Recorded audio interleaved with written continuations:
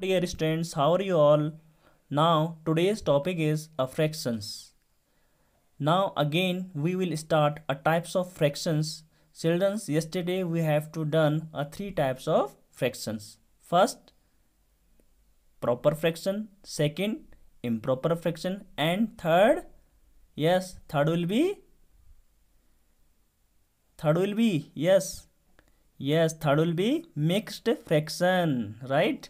तो now four type is a complex fraction आज हम पढ़ेंगे इसका फोर्थ टाइप यानी कॉम्प्लेक्स फ्रैक्शन राइट तो कॉम्प्लेक्स फ्रैक्शन बच्चों, क्या होता है कि फ्रैक्शन इन नुमरेटर और डिनोमिनेटर और बोथ इसका मतलब ये हुआ कि कोई भी फ्रैक्शन ठीक है?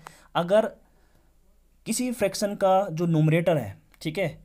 या डिनोमिनेटर है, या दोनों बोथ ठीक है? नुमरेटर और डिनोमिनेटर राइट अगर वो फ्रैक्शन फॉर्म में होते हैं, जैसे यहाँ पे लिखा है फ्रैक्शन इन किसमें नोमरेटर और डिनोमिनेटर और बोथ यानी कि अगर नोमरेटर आपका फ्रैक्शन है अपॉन डिनोमिनेटर एक होल नंबर है तो that will be complex fraction इसको हम क्या बोलेंगे? कॉम्प्लेक्स फ्रैक्शन बोलेंगे.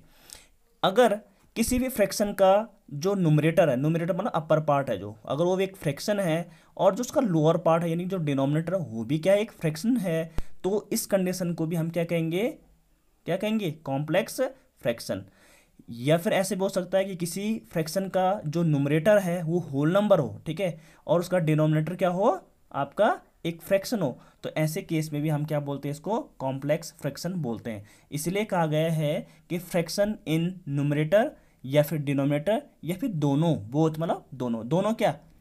आपका नोमिनेटर और डिनोमिनेटर अगर फ्रैक्शन फॉर्म में होते हैं, ठीक है, इनमें से मतलब अगर नोमिनेटर और डिनोमिनेटर में से कोई भी फ्रैक्शन फॉर्म में होता है, या फिर दोनों ही फ्रैक्शन फॉर्म में होते हैं तो बच्चों, उस केस में हम उसे बोलते हैं complex fraction clear now fifth type is reciprocal fraction reciprocal fraction का मतलब होता है, बच्चों, यहाँ पे, जैसे आपके पास एक एग्ज़ाम्पल के थ्रू मैं समझाऊँगा कि आप आपके पास एक फ्रैक्शन है टू अपॉन थ्री ठीक है?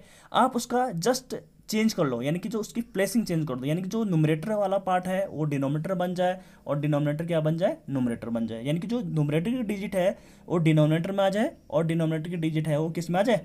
नोमरेटर में आ जाए। तो उसी को हम क्या बोलेंगे? रेसिप्रोकल फ्रैक्शन जैसे टू अपॉन थ्री तो यहाँ पे टू क्या है? नोमरेटर है, और थ्री क्या है? डिनोमिनेटर तो इसका रेसिप्रोकल क्या होगा? थ्री कहाँ चले जाएगा? नोमरेटर में, और टू कहाँ चले जाएगा? डिनोमिनेटर में. Clear that will be a reciprocal fraction. Now, fifth type is a decimal fraction. बच्चों, decimal fraction का मतलब ये हुआ कि वो फ्रैक्शन जिसका डिनोमिनेटर किस फॉर्म में होता है? जैसे like this ten ten to power two ten की पावर थ्री राइट तो हम ऐसे केस में, यानी कि जो ऐसी जो फ्रैक्शन बनेगी, उसको हम क्या बोलेंगे? आपका डेसिमल फ्रैक्शन उसको हम कहेंगे, ठीक है? यानी कि denominator in the form of ten comma ten की पावर टू कॉमा टेन की पावर थ्री कॉमा टेन की power four and on right like seven upon ten six upon hundred nine upon thousand ऐसे आप कुछ भी twelve upon ten thousand clear तो that will be a decimal fractions now seven number is a continued fraction ठीक है? Continued fraction का मतलब होता है लगातार, जैसा नाम से स्पष्ट है कि कंटिन्यूड होना, लगातार होना तो जैसे यहाँ पे कैसा है? One plus two upon one plus one upon four plus three upon four. ऐसे आप कुछ भी बना सकते हैं। मतलब जिसमें मिक्सअप हो। देखो यहाँ पे बहुत सारा क्या है? यहाँ पे देखो one plus two upon one plus one upon four plus three upon. ये कंटिन्यू चलता रहेगा। ठीक है? इसे हम क्या बोलते हैं? इसीलिए इसका नाम क्या रखा गया है? कंटिन्यूड फ्रैक्शन राइट तो होप कि आपको ये क्लियर हुआ होगा। Thank you so much